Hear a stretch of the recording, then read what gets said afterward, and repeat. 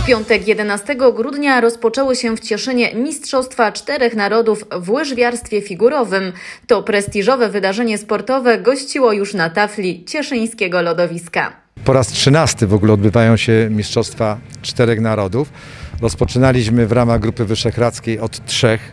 Był to pomysł yy, obecnego wiceprezesa Polskiego Związku Łyżwiarstwa Figurowego, pana Zenona Dagiela.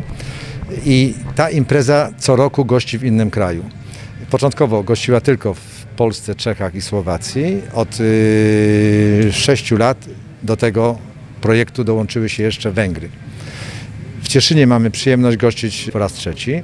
Yy, Raz się nie odbyły w Cieszynie, yy, odbyły się w Katowicach, a to był akurat okres taki, gdzie nie byliśmy organizacyjnie w stanie się do tego po prostu włączyć. Mistrzostwa Czterech Narodów to duże organizacyjne wyzwanie, zwłaszcza w czasach pandemii. W każdym miejscu były nowe wyzwania i organizacyjne, i związane z mediami, i z sędziami, których musieliśmy nieco rozsadzić e, wzdłuż tafli. E, No niestety nie mamy kibiców, na tym najbardziej ubolewamy, ale mam nadzieję, że kolejne w następnych latach już będą przy pełnej publiczności. Tafla jest doskonale przygotowana, jesteśmy organizacyjnie też na fajnym poziomie. Pan prezes podkreśla, że bardzo chętnie kolejne imprezy czy kolejny raz zagoszczą do Cieszyna, a przy tej okazji podkreśla, że organizacja w tych trudnych czasach jest na bardzo wysokim poziomie. Choć w nazwie Cztery Narody, to na tafli cieszyńskiego lodowiska rywalizują trzy. Nie dojechała reprezentacja Węgier.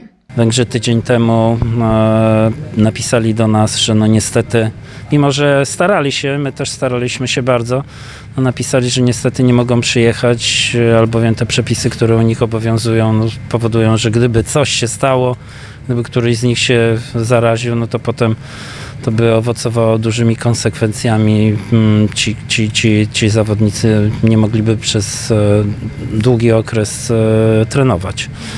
Ale my, Czesi Słowacy, jesteśmy, e, zrobiliśmy też e, mm, taki mechanizm, to Helena Gordon-Półtora, która jest szefową Komisji Tańców Międzynarodowej Unii Łyżwiarskiej, to przygotowała dla, mm, dla, dla Unii, no ale wykorzystaliśmy to tutaj że e, ci, którzy mm, chcieli, a, a nie mogli tu przyjechać, na przykład Michał Brzezina, który jest mistrzem Czech, który, który jest w Stanach, nasze dwie pary taneczne, jedna seniorska, druga seniorska, zostaną tutaj e, ocenione online.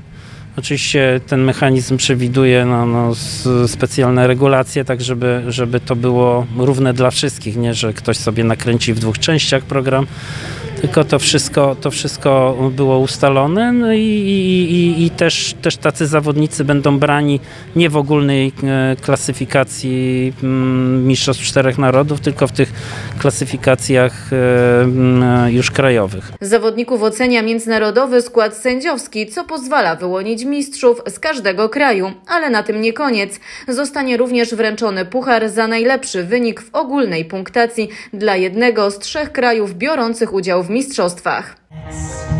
Mamy komu kibicować, bo nie brakuje dobrze przygotowanych zawodników z Polski. Mamy świetną parę yy, w tańcach.